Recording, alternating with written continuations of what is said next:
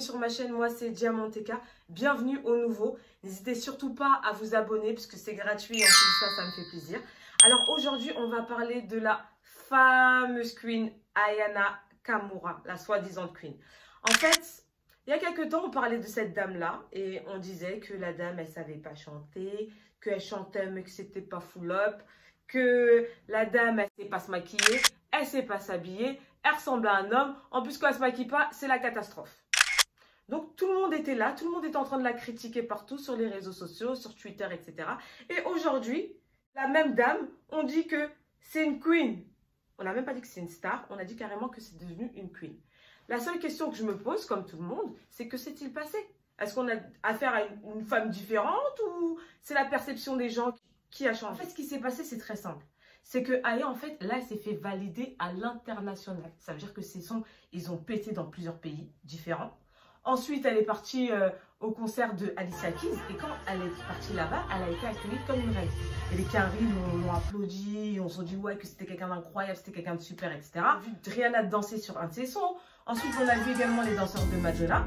Et quand les gens ont vu que les personnes les plus influentes l'ont validé. Là,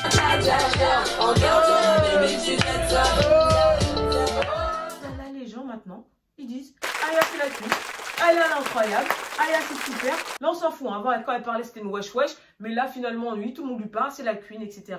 C'est l'artiste euh, française incontournable, etc. Et c'est là que tu te rends compte que la plupart des gens sur la Terre, en fait, tout simplement, c'est des suiveurs.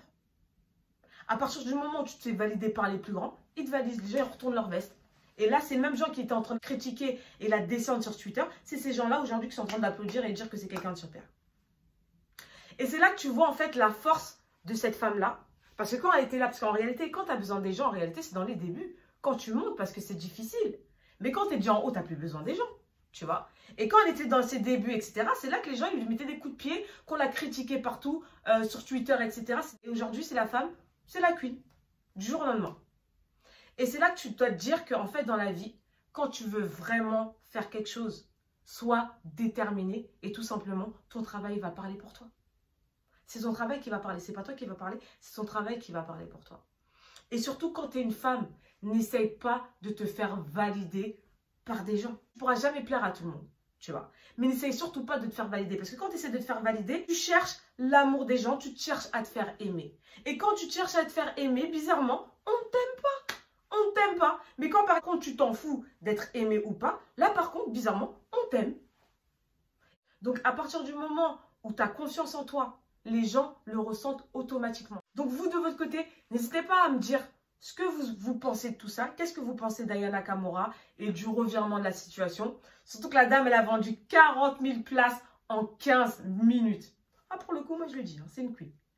Je vous fais des gros bisous. N'hésitez pas à vous abonner. Si vous voulez me parler, me poser des questions ou me suggérer des thèmes, n'hésitez pas à le faire en bas de la vidéo.